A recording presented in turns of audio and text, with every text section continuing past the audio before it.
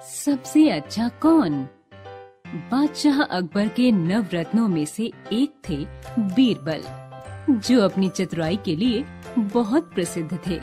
बादशाह की हर समस्या का समाधान बीरबल के पास ही होता था। आइए, अकबर बीरबल से जुड़ी ऐसी ही एक कहानी को सुने और समझने का प्रयास करें। एक दिन बादशाह अकबर चांदनी महल में अपने नवरत्नों के साथ बैठे हुए थे।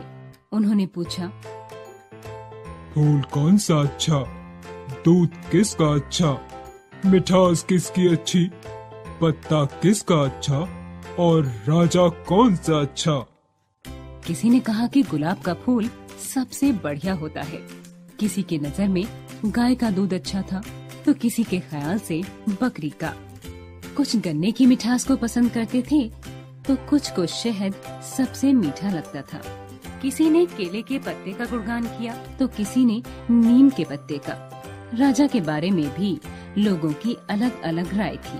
शहनशाह को ये जवाब अच्छे लगे, लेकिन बीरबल अभी तक चुप थे। शहनशाह ने उनसे राय देने के लिए कहा। बीरबल ने उत्तर दिया, आलम पनाह फूल कपास का उत्तम होता है। उसी से हम सबको तन ढापने के लिए कपड़ा मिलता है। दूध माँ का अच्छा होता है। उसे पीकर बच्चा फलता फूलता है। मिठास जबान की अच्छी होती है। पत्ता पान का सबसे बढ़िया होता है। उसे पेश करने पर दुश्मन को भी दोस्त बना लिया जाता है। और आलम पनाह सबसे अच्छा राजा इंद्र है, जिसकी कृपा से आकाश से अमृत बरसता है। उत्तर सुनकर सभी बीरबल की योग्यता का लोहा मान गए। कहानी का मूल भाव एवं संदेश।